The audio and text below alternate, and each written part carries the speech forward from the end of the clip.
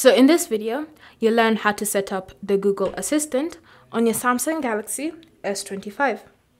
So the first step is to open the Google app on your phone.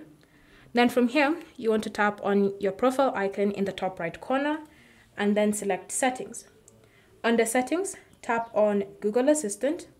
Then you want to look for Hey Google and voice match in the list of available settings for you. And then select it.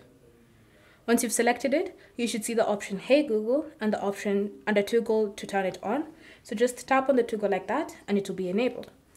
If you have Google Assistant enabled on another Android device with the exact same Google account, then you won't need to go through the process of setting it up. It will just use the voice match from the previous device.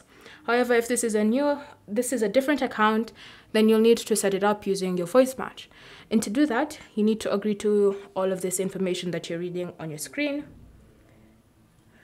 And then once you've done, just say the key phrases. So for example, hey Google, help me write a thank you note. Hey Google, what's the weather tomorrow? Okay Google, explain how a rainbow is formed.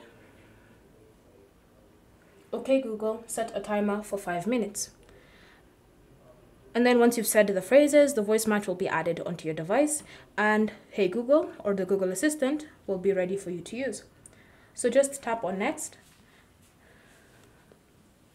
And then you can choose to add more audio to improve the voice match.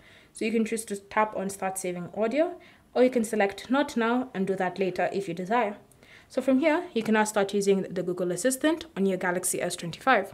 So if you have any small tasks that you want performed or you want to ask it information, you just need to say the key phrase, Hey Google. So let's say we want to set an alarm for 3 a.m. for a flight. All we need to do is simply say, Hey Google, set a 3 a.m. alarm for a flight to Toronto tomorrow. And then wait for it to create. Okay, your alarm labeled flight to Toronto is set for 3 a.m. tomorrow. And then your alarm has been created. You can always choose to open the clock app just to double check that the alarm is actually listed right there. And you can see flight to Toronto, 3 a.m., set for tomorrow. The alarm has been successfully created.